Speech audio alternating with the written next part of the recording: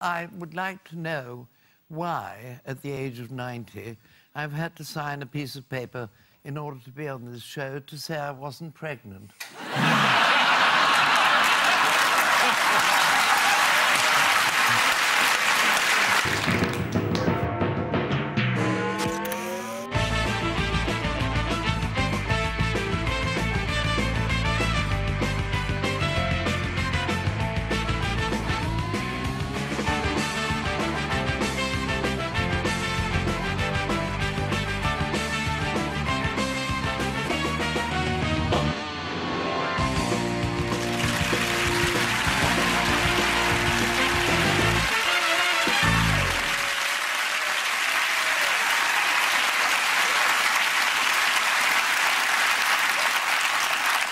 Good evening and welcome to Have I Got News for You. I'm Jack Whitehall. In the news this week, after finally receiving the long-awaited Leveson report, David Cameron takes immediate action.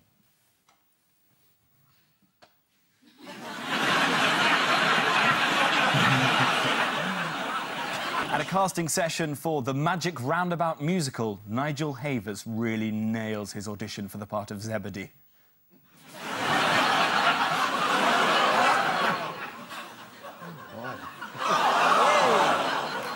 And at River Cottage, Hugh Fearnley Whittingstall is spotted coming home from John Lewis with a brand new meat cleaver.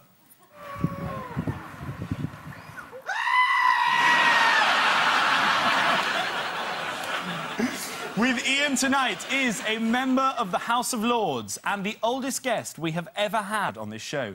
It would be ungallant of me to tell you her ladyship's age, so let's just say she was born before this programme started and before BBC One started. and before television started. Please welcome Baroness Trumpington!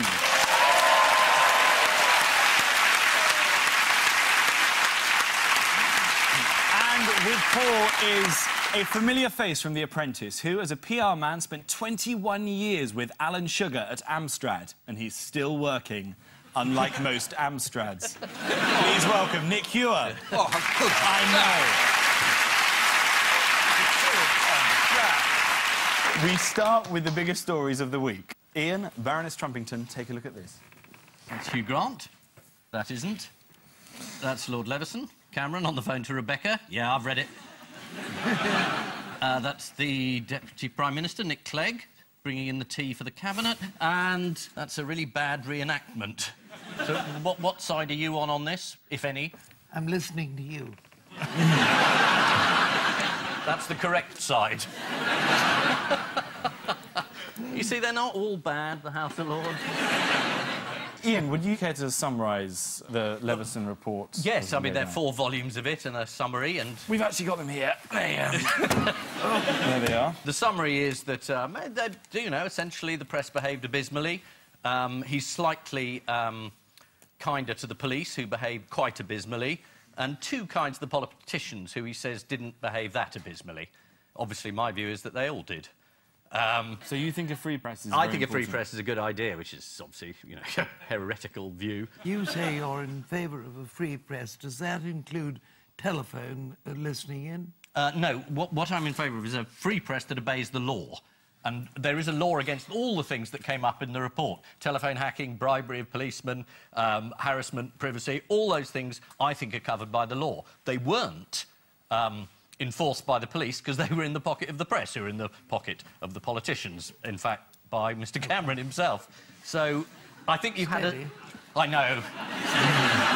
you did say you were listening to me, so I thought I'd just give it a wang, really. Uh, how much would this cost you? Do you know how much this would, it's 250 this would quid. That's my copy. 250 quid? Yeah. This is yours. Would you like that for Christmas? Mm.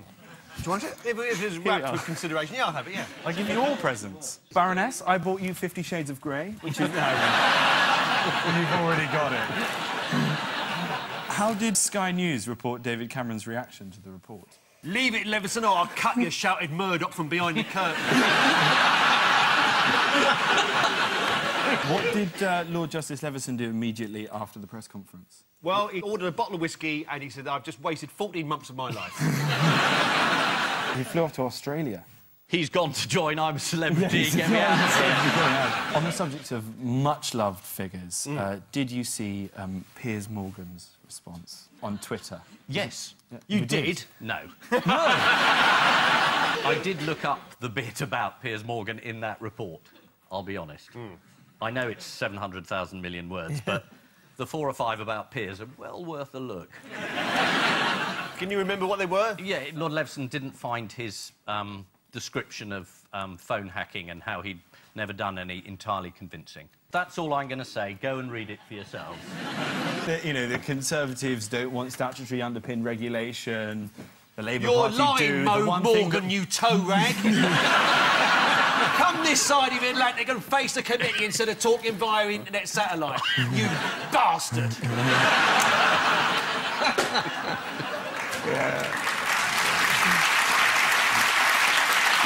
What did he Twitter then? Sorry. Oh, yes, what was the tweet? His tweet was taxi for at hacked off Hugh.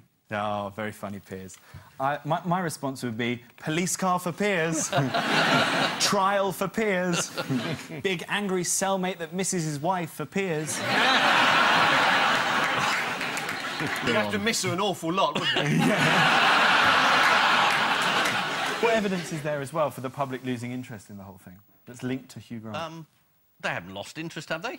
Well, last night, his documentary, Taking on the Tabloids, um, was only viewed by 552,000 viewers, which is 75% down on the average. Countdown gets lots more than that. Me and the Baroness were watching Towie. Probably. I think they are interested. Perhaps it's just me, but uh, Yeah, are you interested? right. Are you still interested? Yeah. And the Hugh Grant thing, you back that campaign, yeah? I think that's good. Anything that keeps Hugh Grant away from acting, we should really.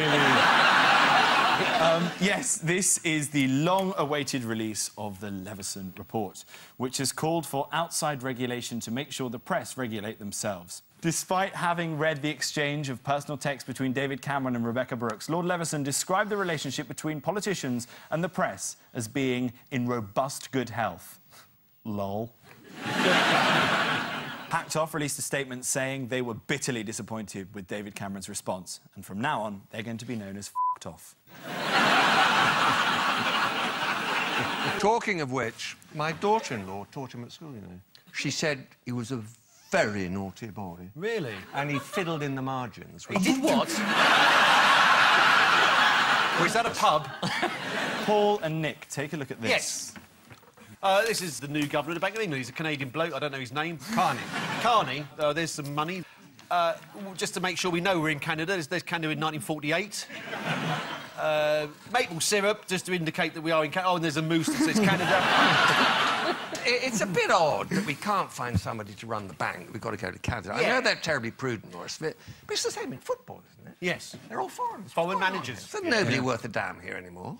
Jack? Is it not quite a good idea having a, a foreigner running the banking system for a bit? Has I mean, he got lot our interests at heart? Has he got our interests at heart? exactly. Working for the Canadians. Canadians Yeah. are well-known enemies over all these. And what's over the board exactly. from Canada? Yeah, Mexico. But Canada's survived best out of all the countries in the West Yeah. out of this financial recession. So they've decided, why don't we get someone in? We can't seem to do it. Let's get in a Canadian. Yeah. It's not a totally useless move. No. Let's have a look at Yeah, Mark let's. Carney. Do you know how the Express described him? They said that he bears a distinct likeness to George Clooney. Let's have a look at him again. I mean, I look more like George Clooney than him. Nick mm, looks more like George Clooney than him. The Baroness looks more like George Clooney than him. Would you like to see George Alagaya asking a mm. very straightforward question? Yeah. Robert, George Osborne says he's the best in the world. What's he got, Mark Carney, that no one in Britain apparently has not?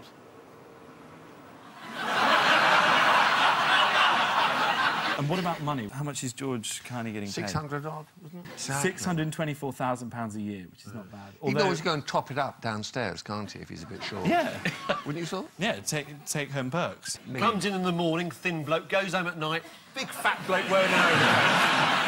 It's put into perspective, though, this week by Harry Redknapp, who's become a manager of a football club and is being paid £3 million a year, which after tax is £3 million a year.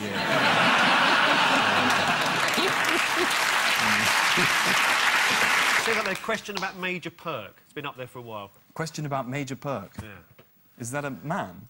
I don't know. Is he a friend of general commotion? Corporal punishment. And private matter. According to The Independent, Yeah. there is one major perk that comes with being governor of the Bank of England. Ah, very good. What is it? You're allowed to take whatever, whatever sticks to your hand, you can take home. No, the answer is the impressive ensuite thunderbox in the governor's parlour. Whoa!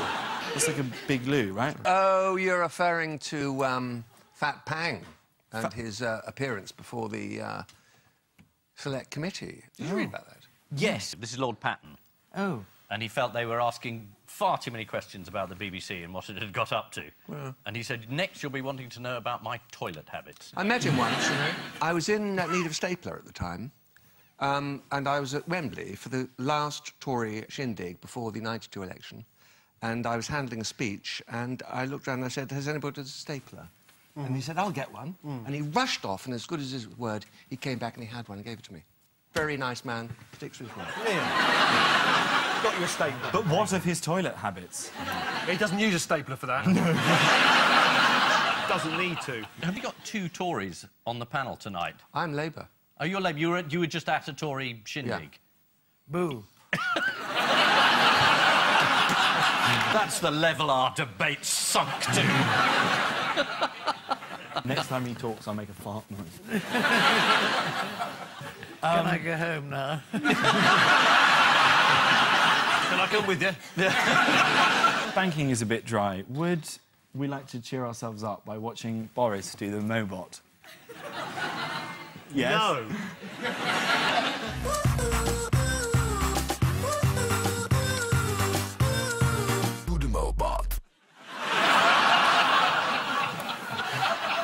know he was being filmed? that could be your next leader. God. Honest, the Mobot was a bit of a craze, but you've, um, you've actually started the V-Bot. What should we call it? Your moment in the House of Lords. I have to tell you that that noble lord and I have been friends for many, many years. This is Lord King. But you at first denied that you'd flicked him the V's, or did you say that you had? Sorry, I'll stop doing it now. It is rather catching. did, you, did you regret swearing at him, or...? No, uh, because I regretted what he said, which was that people of my age were starting to look very, very, very old. Well, wouldn't you do that if you were told?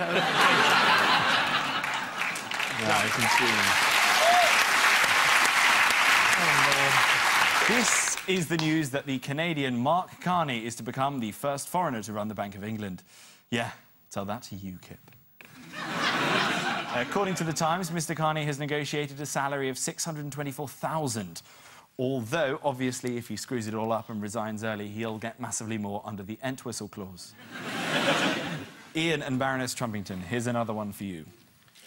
UKIP. Someone saying I'm voting UKIP. Farage, because he's the only one. no, he's not actually. Lots of them are. Look at him. He's so glum. This is the news. I'm. Well, it's happening now. Hmm. So when you see this, you'll know. UKIP will have won a seat.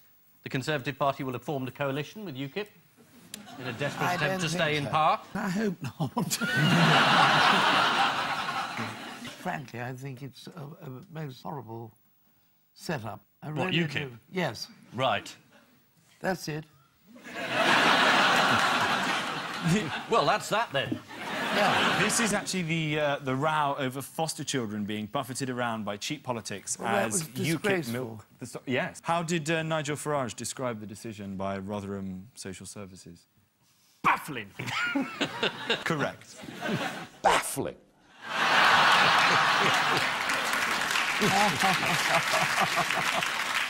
He was actually right for a change, though. Um, Yeah. The reason given by Rotherham Council for taking the Eastern European children away? The, the foster parents were members of UKIP. Yeah. The foster mum claimed, we don't know or care about the immigration policy. We just agree that we should get out of the EU.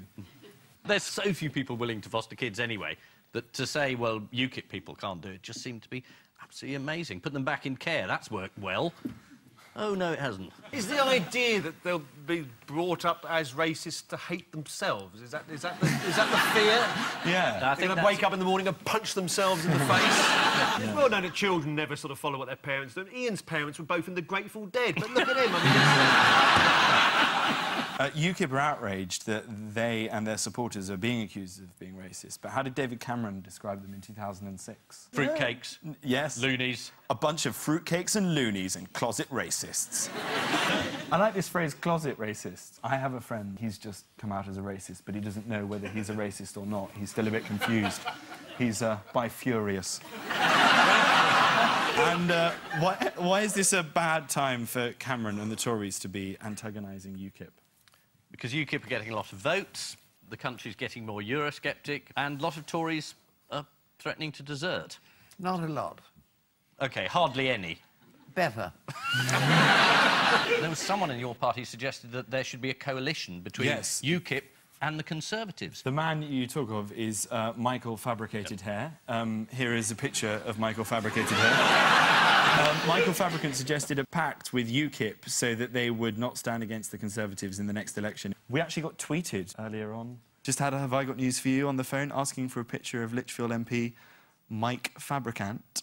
And then he tweeted back saying, Gosh, I'm to be a question on Have I Got News for You? That's better than a knighthood. It's not. We're, we're just making jokes about your appearance.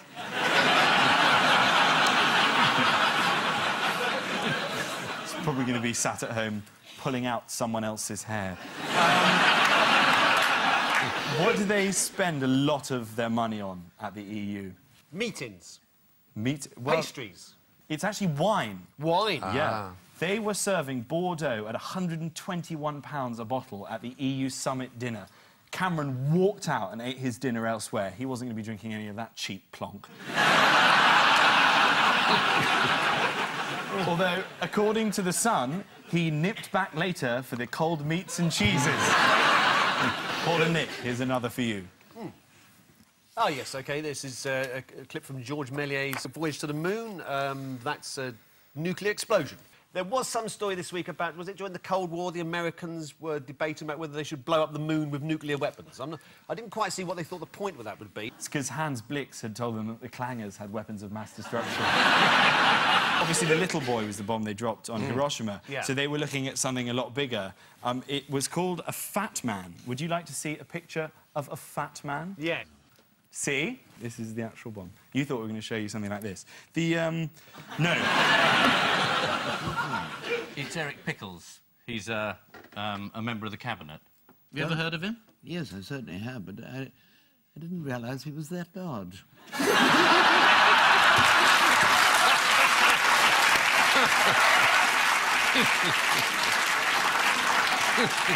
What was the reason why they wanted to do this? It was like, I think it was sort of posturing because uh, the Russians had launched Sputnik, so they wanted to make a statement and surprise the Russians by blowing up the moon. yeah, nothing happened. in the Sanity prevailed. Yeah, because there were doubts over what effect a moon blast could have on Earth, including tidal patterns. Talking of which, floods uh, in this country have now got serious because a celebrity has been affected. Which celebrity? What's the initials? PD. Is it P. Diddy? Paul Daniels. Paul, Daniels. Paul Daniels. He lives by the River Thames. Correct. He Paul- lives on a little island. Yeah. Yes. Paul Daniels said this week that he was furious with the council and that his house was currently under about two foot of flooding. He's been flooded every year for years, and he keeps moaning about it. Get a sandbag, for God's sake. Weird, is it, if you live next to the Thames and then complain about flooding? In the Thames It's like moving in next door to Ryan Giggs and then complaining when he bangs your wife. Like... you surely knew when you moved into the area. Um, this is America's plan in the 1950s to blow up the moon. The plan to fire a nuclear missile at the moon was codenamed Project A119, although its purpose was later downgraded to finding a way of connecting Hertford and Stevenage. that is the actual road. Meanwhile, on Earth, the UK was again hit by widespread flooding. One of the people affected was magician Paul Daniels. He was stranded in his house. The emergency services said despite frantic efforts, they were running out of excuses not to rescue him. And so to round two, the picture spin quiz. Fingers on buzzers, teams. Oh, this is the uh, oh, this is the pigeon that they found in the chimney. This is a code. It had a code tied to Yes. its leg, and they couldn't they couldn't decipher it. Um, but they've deciphered it now, and, the, and, the, and it says, "Help! I'm trapped in this chimney." yes, this, this is the news that so-called experts at GCHQ have failed to crack the coded message found attached to a World War II carrier pigeon Yeah. skeleton and are asking the public for their help. It would be great if we had someone that worked as a code breaker during the war. Surely that would be no problem for you. Enigma in a couple of years, a pigeon code, that couldn't be too hard. Should we have a look? Should... Here is a picture of the bird's foot with the canister. Yeah. Oh, sorry. Yeah. That's Yasser Arafat. Um, we... Safe journey home.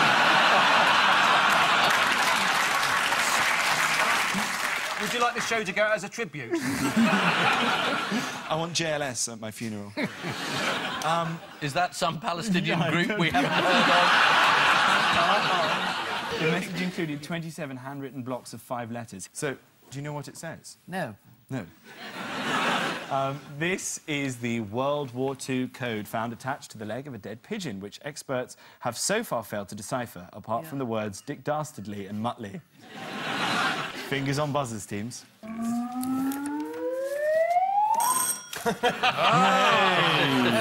He looks as though he needs a good bra.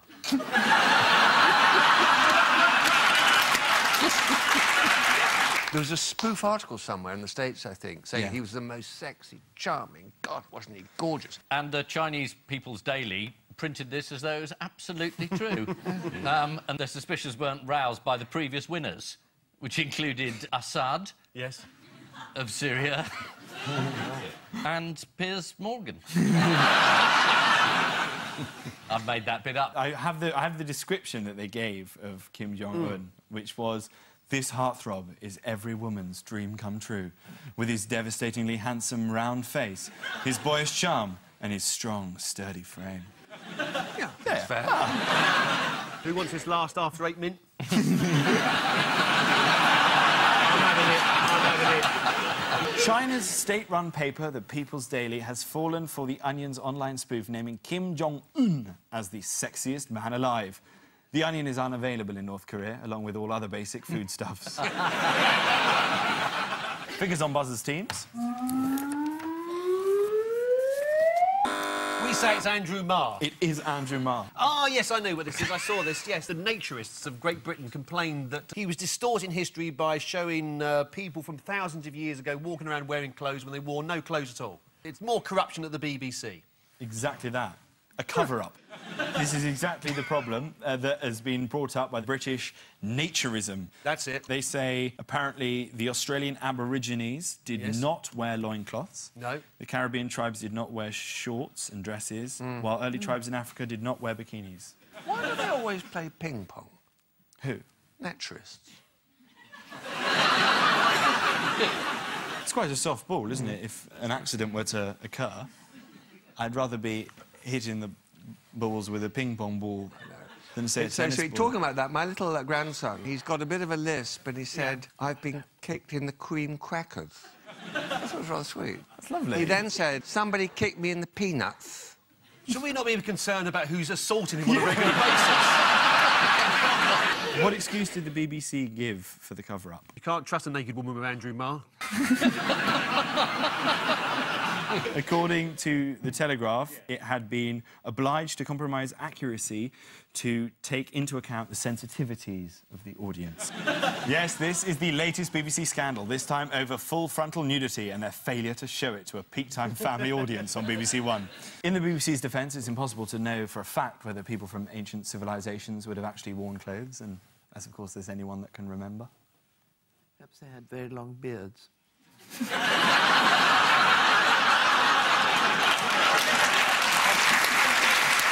It was also revealed this week that a contestant on Countdown was told by Channel 4 to cover up his offensive chest hair. It was so distracting that viewers almost forgot to look down Rachel Riley's top.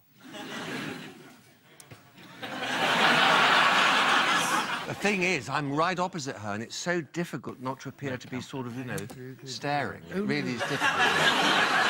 she probably thinks I'm sort of perving, Yeah. which I'm not. No, you're not, no. It's professional interest. You, you've definitely done a, a good, like, good deal to dispel that, though, by saying... I'm very proud of it, and I'm contemplating another contract. So don't spoil it, Jack. Yeah. I'm not going to. I love Countdown. Good. Okay. Daddy likes it, he told me. I find it really weird when you say daddy. You do speak to your daddy, and you call him daddy, and I think it's charming.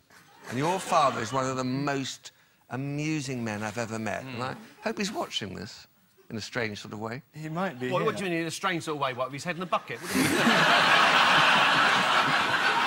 Time now for the Missing Words Round, which this week features as a guest publication the newsletter of ophthalmic antiques. We start with Oh, how I would love to what? Smoke inside.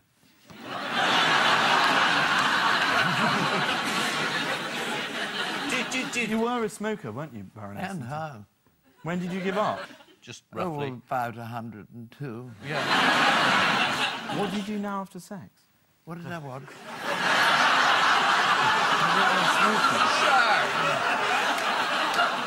Cigars. Cigars!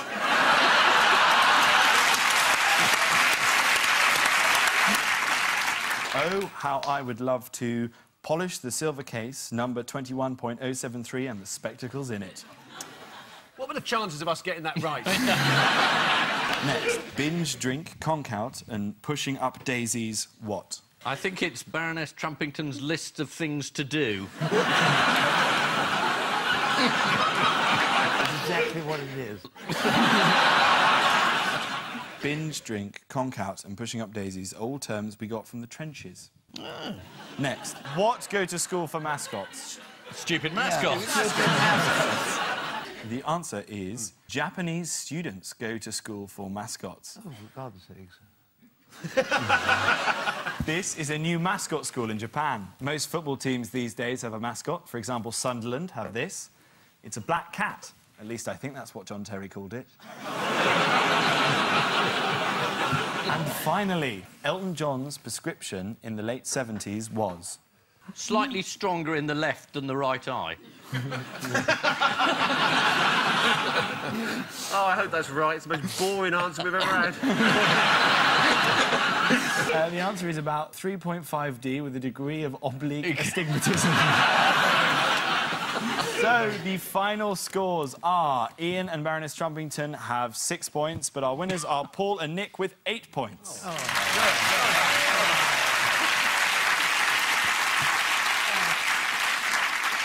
but before we go, there's just time for the caption competition. Oh. Say something. Man has sex with elephant using telephone box as condom. Is it a trunk call? And I leave you with news that there's embarrassment on his first day at work as the new Archbishop of Canterbury locks himself out. Oh. High above the streets of London, after suffering a breakdown, a stressed out Dale Winton is gently coaxed back to safety.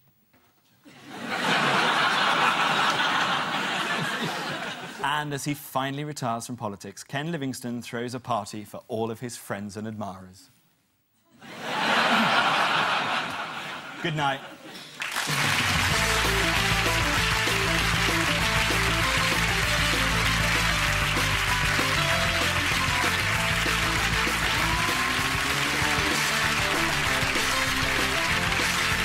With two discs of highlights from the programme, the Have I Got News for You 2 audiobook is now available. Next up on BBC One, laughing at the highs of the Olympics and the lows of the economy, it's John Bishop's Big Year.